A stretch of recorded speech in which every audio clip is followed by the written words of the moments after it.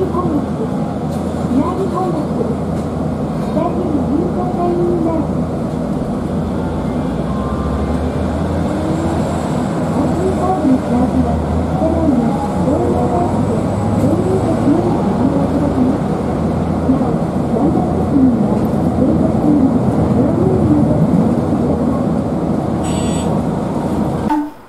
んにちは、ゆっくりレ夢ムです。本町電停にやってきました。こちらは広島駅、横川駅方面乗り場で、6号線の神谷町、八丁堀経由広島駅行きが毎時4本程度、8号線の横川駅行きが毎時4本程度運行、また八丁堀から白島線に直通する9号線、白島駅が朝のみ運行されています。船入本町から主な電停までの所要時間は、神谷町西まで約14分、八丁堀まで約17分、広島駅まで約30分、横川駅まで約15分、市内線区間の運賃は190円均一となっています。船入り本町電停交差点の北側に広島駅、横川駅方面乗り場、南側にエヴァ方面乗り場が設置されていて、こちらはエヴァ方面乗り場、広島駅、八丁堀、神谷町、横川駅などから、船入り本町並動したい場合はエヴァ駅に乗ると良いでしょう。船入り本町電停の西側には広島信用金庫船入り支店、パリパリの麺、ふわふわ卵のお好み焼きが美味しく、店主の愛想が良くて親しみやすいと評判の一級さん、うどん、中華そば、丼などを提供し、広島市内で店舗を展開する力、などのお店がありますね。船入本町電停交差点を東西に通るのは、新広島バイパス開通前までは国道2号線だった道路、旧国道2号線沿いは昔ながらのお店が多く並んでいて、船入本町商店街、と呼ばれているみたい。旧国道2号線は後ほど歩きましょう。船カフェ、はアットホームな雰囲気と評判のお店。サイフォンで入れる香り高いコーヒーのほか、ランチはカレー、オムライス、ナポリタンなどを提供。かつカレーが美味しいという口コミが多く見られ、かつは薄めで食べやすくサクサク食感とのことです。お菓子店、達也、は旧国道2号線沿いに移転しました。船入り通りを北へ進みましょう。船入り地区の中央を南北に通る主要道路で、エヴァ方面の路面電車がこちらを通ります。広島銀行船入り支店が見えてきて、こちらは船入り本町交差点、国道2号線新広島バイパスと船入り通りが交差し、路面電車は国道2号線新広島バイパスを横断します。国道2号線新広島バイパスを東へ進むと広島市役所方面、船入通りを北へ進むと東海地町、横川駅方面、交差点周辺にはガリバー、サイクルベース朝日などのお店のほか、パーフェクトストレーチ、肩こり、腰痛、関節の痛み改善や、美しいボディラインを手に入れたい方は、こちらに通ってみると良いかも。ビョンちゃんは韓国料理店で、石焼きビビンバ、キンパ、チゲ、トッポギなどのお料理を提供。コスパが良く、本格的な韓国料理が楽しめると評判です。船入り本町交差点で左折。国道2号線新広島バイパスの南側は船入り本町、北側は船入り中町、という住所となります。今回は広島県広島市中区船入本町を散策しましょう。風船によって顔が浮いているみたいな感じのイラストがあるわね。1階はお酒の品揃えのほか、店主や奥様の人柄が良いと評判の吉永志子。2階には将棋広場があるらしい。作業服店もあるわね。国道2号線新広島バイパスは1960年代に開通、6車線の広々とした道路で交通量が多く、広島市を東西に通過する際のメインルートの一つですね。船入本町は広島市中心部から約2キロという距離、中心部へ自転車で無理なく移動できる距離のほか、国道2号線新広島バイパス、船入り通りが通っているため、自動車で各方面へのアクセスが良く、路面電車、路線バスの本数も充実、都心すぎず郊外すぎないという程よい距離感が良く、船入り地区は人気が高いエリアとなっています。こちらは新観音橋東バス停で、広島駅とマリーナホップを結ぶ広電バス3号線、広島バスセンターと五日市方面を結ぶ広電バス54、55号線が停車、各路線合わせて市役所前、本通りまでは、毎時8本程度のバスが運行されていますよ。船入本町、船入中町周辺は、地上10階建て以上のマンションが多く立ち並びます。2022年3月末時点の広島市中区の人口は13万6343人、そのうち船入地区、神崎学区、船入学区は2万2517人で、船入本町は3393人となっています。広島市と海田町に4店舗展開する電気店、平和電機は船入本町に本店を置きます。しばらく国道2号線新広島バイパスを西に進み、こちらは新観音橋東詰交差点。この先は天満川に架かる新観音橋で、新観音橋を渡ると広島市西観音本町となります。国道2号線新広島バイパスの整備に伴い、新観音橋は1962年に開通。国道2号線新広島バイパスの車道、歩道のほか、高架橋の道路もあって、高架橋の片側は途切れたような形状になっているわね。五日市方面からの西広島バイパス上り線は船入り出口でおしまい、新観音橋西詰付近から高架橋を降りて、新観音橋東詰で新広島バイパスと合流します。五日市方面の西広島バイパス下り線は関音入り口が起点で、新関音橋東詰から新広島バイパスを西に約500メートルの場所に位置します。西広島バイパスはここからさらに東へ、国体寺町、平野町方面への延伸計画があるものの、今のところ工事が始まる気配はなし、もし西広島バイパスの延伸が実現すると、船入本町付近に新たに高架橋が建設されて、町の風景が大きく変わることになるでしょう。国道2号線新広島バイパスは、新、関音橋ということで、かつては新関音橋の下流側に、旧国道2号線の関音橋が天満川にかかっていました。新関音橋が開通する前までは船入りと関音を結ぶ主要な橋で、1960年代時点で関音橋は老朽化が進んでいたものの、新関音橋開通後も関音橋は、歩行者、自転車専用橋として利用されていました。対岸の関音本町に関音橋の名残が見られるわね。関音方面から船入り市民病院に行くときに関音橋は便利だったみたい。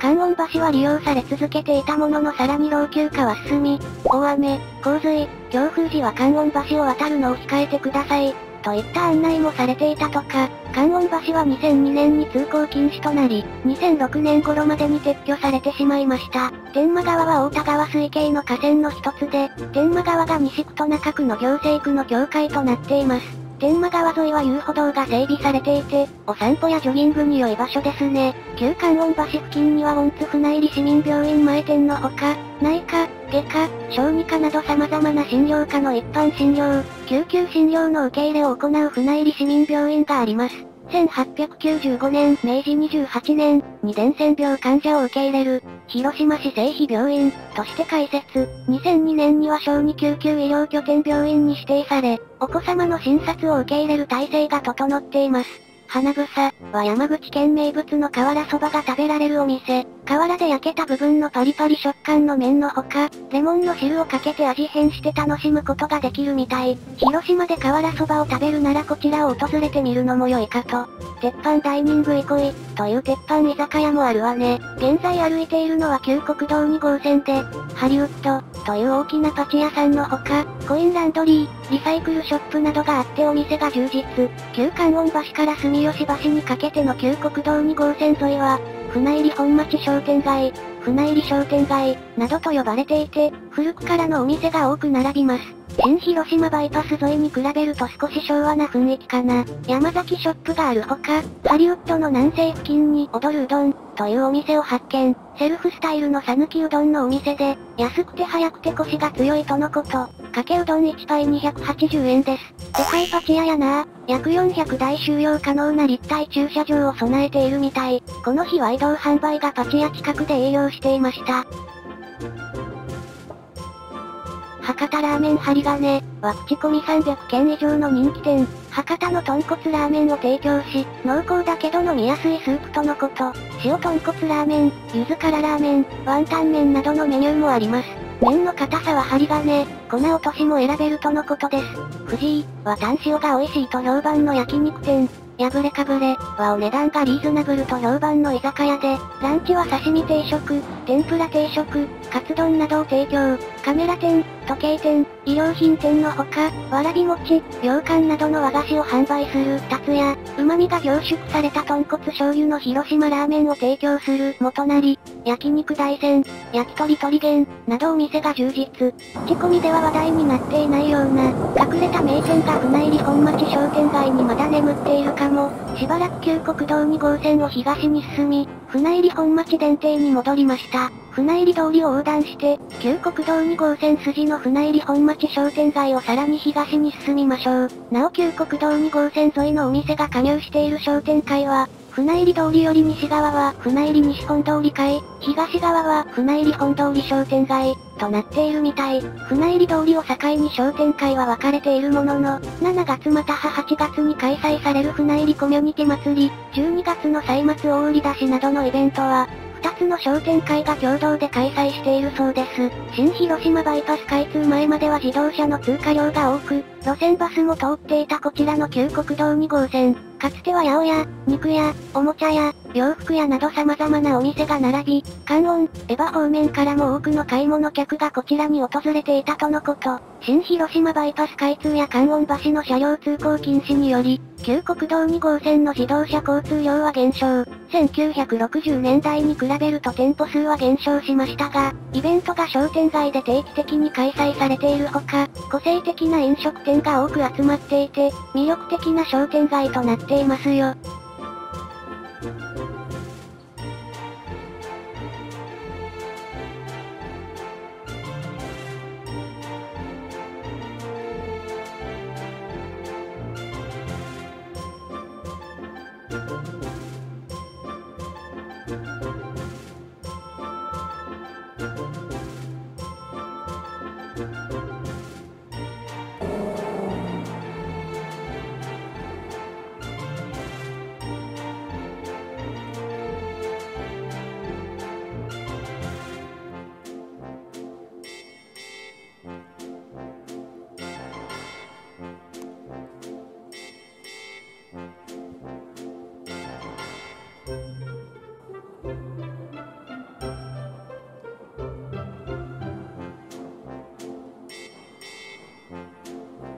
旧国道2号線をしばらく東に進み、朱色が目立つ橋が見えてきました。旧大田川、本川、に架かる住吉橋で、住吉橋を渡ると中島学区の住吉町となります。朱色は住吉神社の社殿をイメージしたものだそう。約300年の歴史を持つ住吉神社は、広島藩の時代には船の守護神として信仰されていたとのこと。また1990年代に当時中学生ながら丁寧な言葉遣いが特徴で、お言葉少女、としてメディアなどで取り上げられた、森脇義香さんのご実家の神社が住吉神社です。こちらは住吉橋華僑対策委員会費、住吉橋華僑対策委員会の委員長で被爆者だった折重正一さんは、1954年の住吉橋架け替え完了を待たずして、原爆症で亡くなったとのこと。折重さんの遺品は住吉橋の橋脚下に埋められたそうです。こちらは新住吉橋バス停で、エヴァと下早稲田を結ぶ広電バス6号線のうち、柿内通り経由のみこちらに停車。平日7本のみ運行、土日祝日運休というダイヤで、あまり本数は多くないわね。エヴァ地区の旧大田川沿いの道路が、柿内通り、という愛称で呼ばれていますよ。現在の住吉橋は高ローゼ橋という形式、アーチ部材と保護桁がほぼ同じ厚さのものを、ローゼ橋、と呼ぶそうですが、住吉橋は日本初の高ローゼ橋とのことです。こちらが住吉神社の社殿でございます。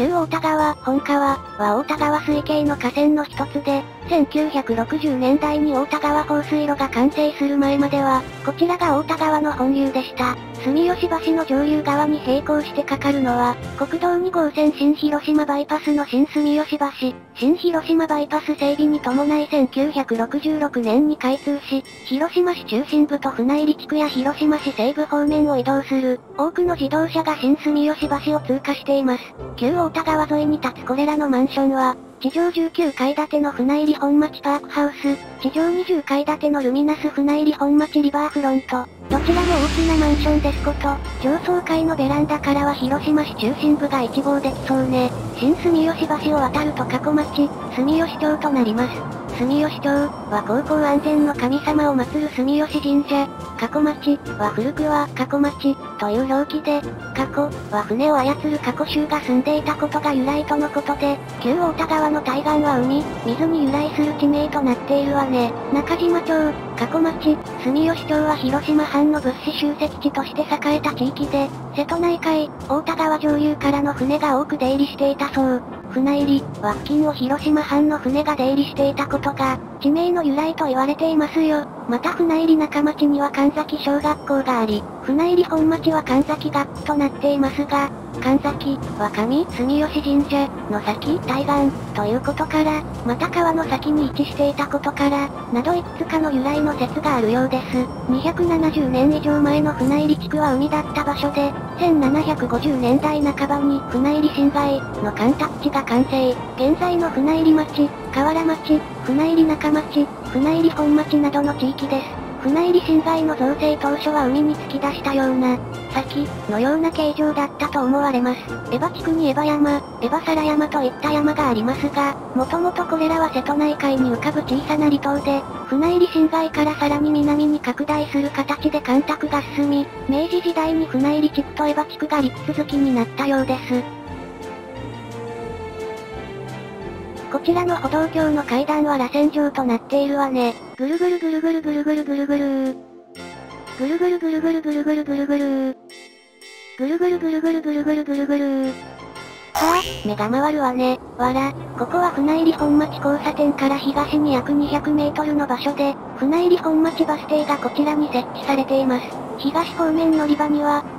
3号線の本通り、八丁堀経由広島駅方面が毎時6本以上、6号線の本通り、八丁堀経由下早稲田方面が毎時4本以上、54、55号線の本通り経由広島バスセンター方面が毎時2本以上停車、各路線合わせて本通りまでは毎時12本以上あって、めちゃくちゃ本数が多い。市役所前まで約4分、本通りまで約8分、八丁堀まで約13分、広島駅まで約23分、広島駅、Bye. 本通り方面から船入本町、新館音橋東までは、運賃190円均一エリアとなっていますよ。ちなみに船入本町から神谷町、八丁堀、広島駅などへ向かう場合、路面電車よりも路線バスの方が所要時間が5分程度短いですよ。西方面乗り場には、3号線の関音新町3丁目、マリーナホップ方面、6号線の船入り南、エヴァ方面、54、55号線の五日市、廿日市方面が停車、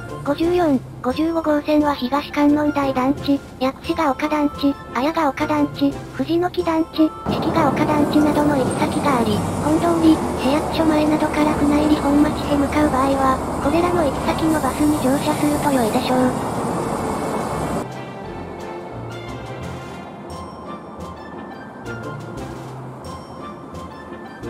この先は国道2号線新広島バイパスと、船入り通りが接続する船入り本町交差点ですが、サイクルベース朝日付近で左折、梅茶県は焼き餃子、エビチリ、酢豚などの中華料理を提供する居酒屋で、昨年10月にオープンしたばかりの新しいお店です。ここからは細い道をうろうろと散策しましょう。A デイはお値段がリーズナブルと評判の居酒屋で、お肉を使ったお料理をメインに提供しているみたい。鳥太郎は安くて美味しいと評判という口コミが多く見られました。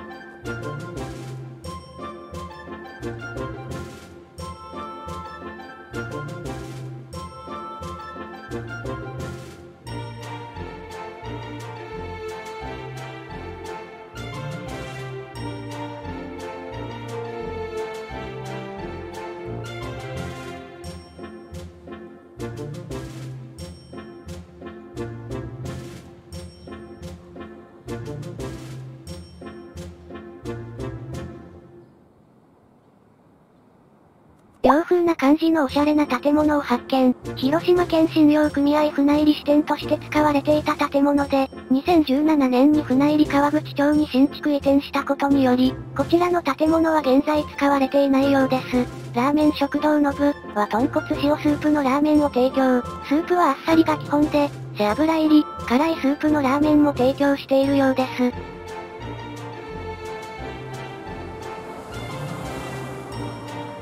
年の屋はバラ肉の代わりにミンチを使う、府中焼きを提供するお店。ミンチの油が溶けて麺はパリパリ食感を楽しめます。広島市内で9店舗展開、配達にも対応していますよ。交差点で右折して、船入り通り方面に進みましょう。道路の南側は船入り幸町、北側は船入り本町、という住所となります。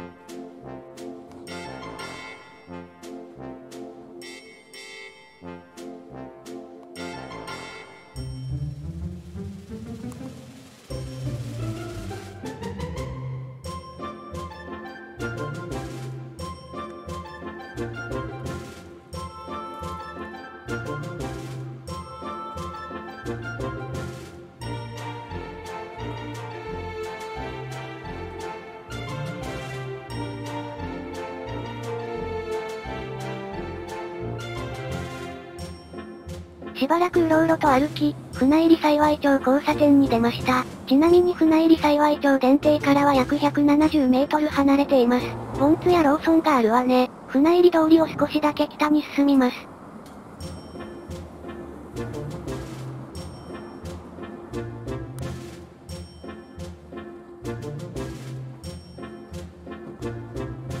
こちらは船入り本町バス停で、広電バス6号線の本通り、八丁堀経由下早稲田方面が停車。広電バス6号線の下早稲田方面は、こちらの船入り通りの乗り場に停車し、船入り本町交差点を右折した後、国道2号線新広島バイパスの乗り場に停車。船入り本町バス停は2カ所の乗り場に停車します。路面電車の広告放送で案内していた、津田寺美院公会員はこちらです。エヴァを発着する6号線、8号線が運行されている区間のうち、土橋からエヴァ間は広島電鉄エヴァ線という路線となります。エヴァ地区では1943年、昭和18年に、三菱重工業広島造船所エヴァ工場が創業開始。この工場への通勤輸送を目的として、1943年に広島電鉄エヴァ線の土橋から船入り本町間が開業。1954年にエヴァまで延伸し全線開業しました。船入本町は11年ほどエヴァ線の終点だったようですね。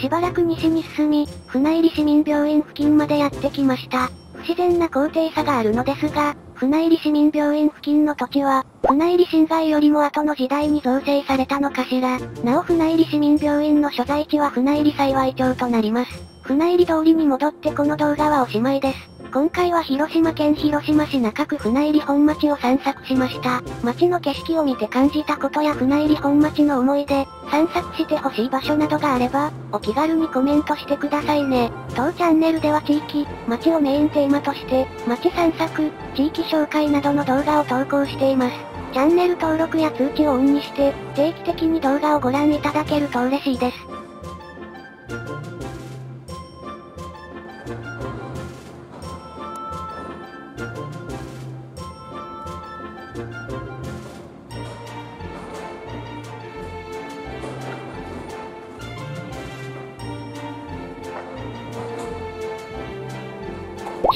サビー玉ポケット、というお店を発見。名前の通り昭和レトロな内装となっているようで、サイフォンで入れたコーヒーのほか、カレー、ナポリタン、うどん、アイス、ケーキなどを提供します。船入り本町電停から路面電車に乗って帰りましょう。ご視聴ありがとうございました。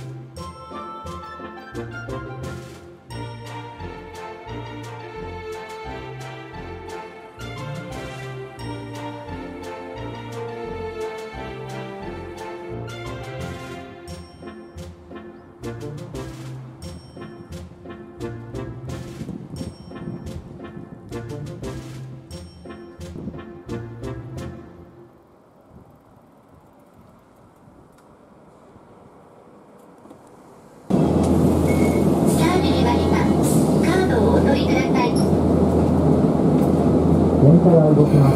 お止まりください。